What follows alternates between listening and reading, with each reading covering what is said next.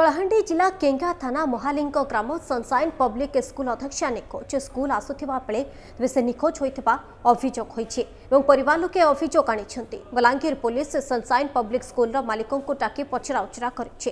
ବଲାଙ୍ଗୀର ଜିଲ୍ଲା ତୁରେକେଲା ଗାଁର ମମିତା ମେହେର କଳାହାଣ୍ଡି ଜିଲ୍ଲା କୋଲାମୁଟା ବ୍ଲକର ମହାଲିଙ୍କ ଗାଁରେ ଥିବା ସନ୍ସାଇନ୍ ପବ୍ଲିକ୍ ସ୍କୁଲର ଅଧ୍ୟକ୍ଷା ଗତ ଆଠ ତାରିଖରେ ଉକ୍ତ ସ୍କୁଲର ମାଲିକ ଗୋବିନ୍ଦ ସାହୁ ମମିତାଙ୍କୁ ସ୍କୁଲର କାଗଜପତ୍ର କାମ ଅଛି ବୋଲି କହି ଡାକିଥିଲେ ତେବେ ମମିତା ସ୍କୁଲକୁ ଆସୁଥିବା ବେଳେ ବାଟରେ ଚାନ୍ଦତରା ଛକ ନିକଟରୁ ନିଖୋଜ ହୋଇଯାଇଥିଲେ ବୋଲି ଗତ ବାର ତାରିଖରେ ପରିବାର ଲୋକେ ଥାନାରେ ଅଭିଯୋଗ କରିଥିଲେ ବୁଧବାର ଦିନ ତମାମ ପୋଲିସ ମହାଲିଙ୍ଗ ସ୍କୁଲକୁ ଆସି ତଦନ୍ତ କରିବା ସହିତ ଗୋବିନ୍ଦଙ୍କ ଗାଡ଼ିକୁ ଜବତ କରିଛି ତେବେ ସ୍କୁଲ ଅଧ୍ୟକ୍ଷ ନିଖୋଜ ଘଟଣାରେ ବଡ଼ ବଡ଼ ବିଜେଡି ନେତାଙ୍କର ହାତ ଥିବା ଚର୍ଚ୍ଚା ଜୋର ଧରିଛି ଏନେଇ ଏକ ଫଟୋ ମଧ୍ୟ ଭାଇରାଲ ହେଉଛି ଯେଉଁଥିରେ ଗୋବିନ୍ଦ ସାହୁ ଗୃହମନ୍ତ୍ରୀ ଦିବ୍ୟଶଙ୍କର ମିଶ୍ର ଏବଂ ମନ୍ତ୍ରୀ ପ୍ରତାପ ଜେନା ଉପସ୍ଥିତ ଅଛନ୍ତି